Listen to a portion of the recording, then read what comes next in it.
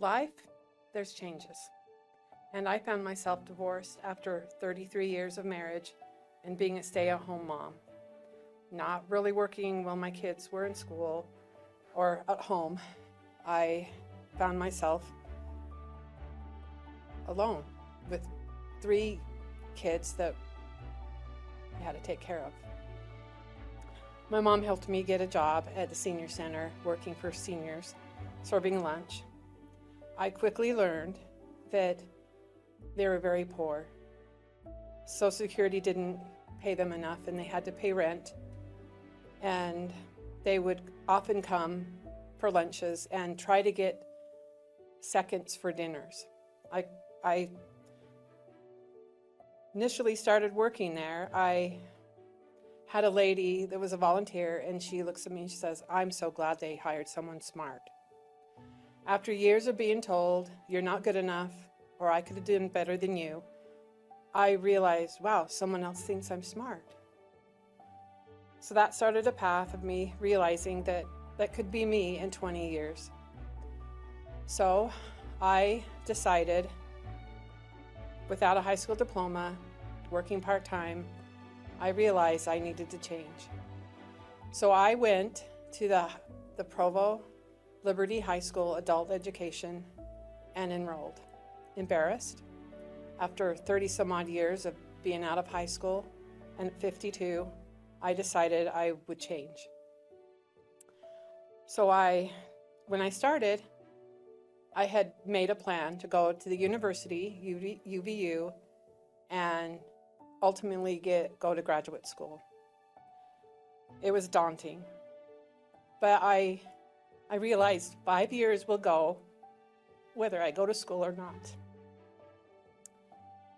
So I, I went to the adult education and they quickly embraced me.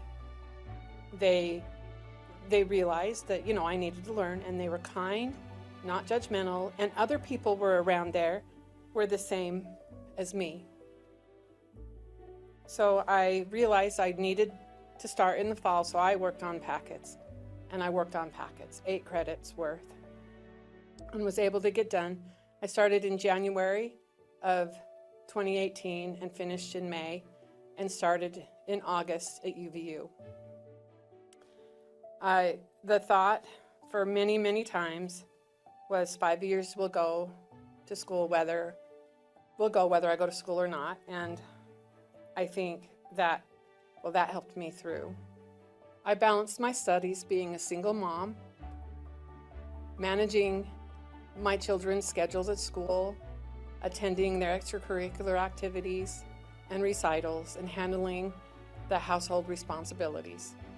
My graduate program, which I completed online at Carroll College in Helena, Montana, often involved attending classes on my phone while waiting as my child's rehearsal was, would end.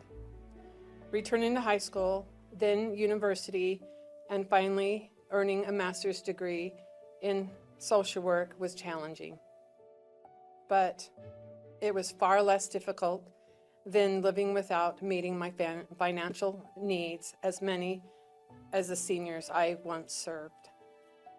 I've been working as a hospice social worker for a year now, and I'm living my dream. Reaching this point in my career is more incredibly fulfilling. My role in both re is rewarding and meaningful, and I work with professional colleagues and support and care about my success. At this stage, my primary focus is to continue providing compassionate, effective care to my patients. I am committed maintaining high standards of my work and contributing positively to my community. I have already achieved what I initially set out to do. I am grateful for the journey that has brought me here. My education has profoundly impacted my, my life and my family.